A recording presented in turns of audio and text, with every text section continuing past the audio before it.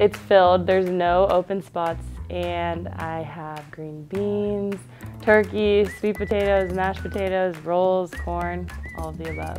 Um, I eat a lot of greens and mac and cheese. That's usually the majority of the plate. I get some sweet potatoes every, um, a little bit.